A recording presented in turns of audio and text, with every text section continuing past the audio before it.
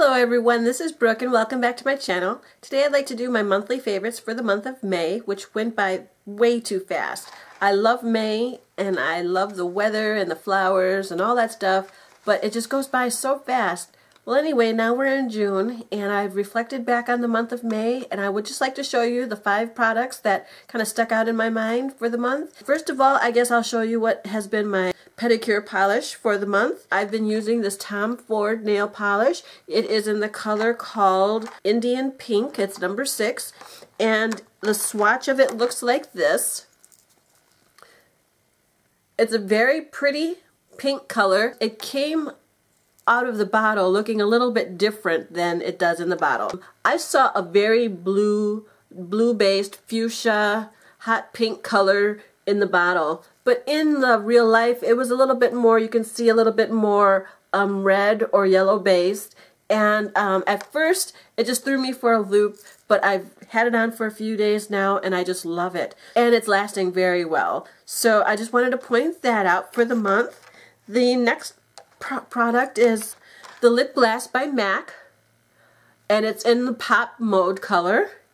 It is one of my favorites. It's what I have on right now. I have it on all by itself. It has a nice little color to it. I'll swatch it for you right here on my hand in case you can't see what it looks like very well on my lips.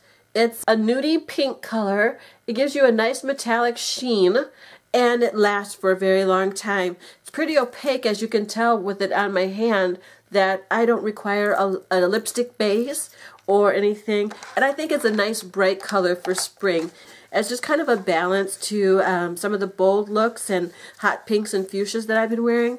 And as far as eyes go, like I said, my eyes have been in horrible condition, so I had to stop wearing mascara, and um, I haven't been wearing a lot of eyeshadow.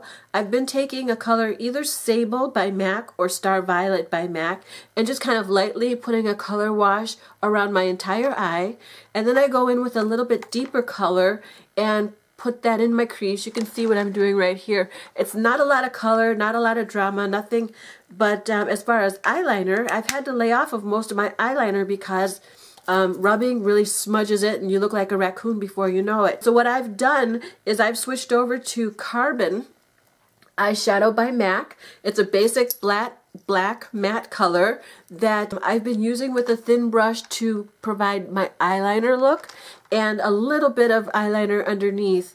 It's been working very well. It goes on soft and smooth, which is great for irritated allergy eyes, and it comes off right away. It comes off completely. So that has been working well for me. It's something that I could put on in a thin line like I have today, or it's something that I could put on in the thin line and smoke out in the corners. It's been a very versatile look, but I went back into my stash and I'm so glad that I pulled out the Carbon by MAC because it's been very, very good for my eye looks lately. And then going on with the eye theme, I just wanted to point out that I've been using this eye makeup remover by Sephora. It um, is just called Waterproof Eye Makeup Remover. It's the blue solution. This one you wear, it's like, um, it separates. So when you see it, it'll be clear solution on the top and then the blue on the bottom. You have to shake it up very well before you use it. I just wanted to say that it does work well. It the days that I did wear, you know, a heavy eyeliner or mascara, it took that off very well, but I wanted to point it out for people that suffer from allergy eyes too. And it doesn't burn allergy eyes like some other eye makeup removers do. So if you've been rubbing a lot or if your eyes have been just irritated, the last thing you want to do is go over them with a a heavy solution or an irritating product.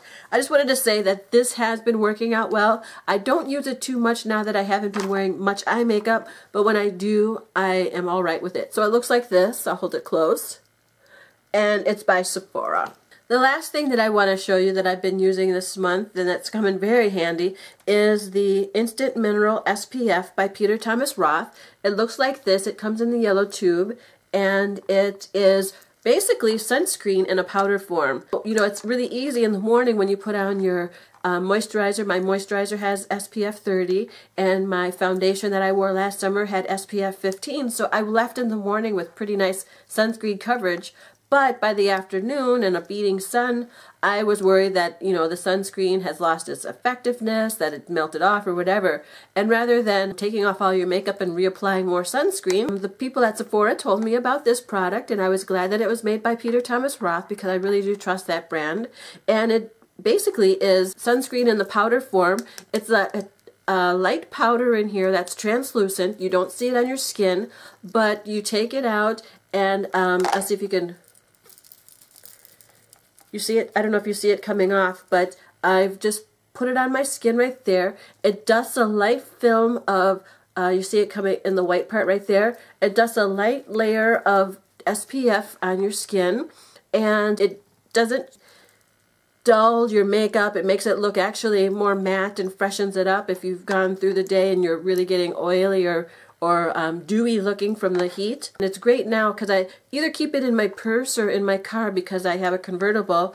I always like to dust my nose before I put the top down and drive for a while because you know I don't want the sunglasses to give me the raccoon look and um, you know just get a little bit on my forehead cheeks and nose and it, it, it lasts for several hours like I said it is SPF 45 and the light dusting is all you need so that was pretty much my five favorite products for the month of May. Thank you so much. I hope you're going to have a wonderful month of June, and I hope your May was fantastic.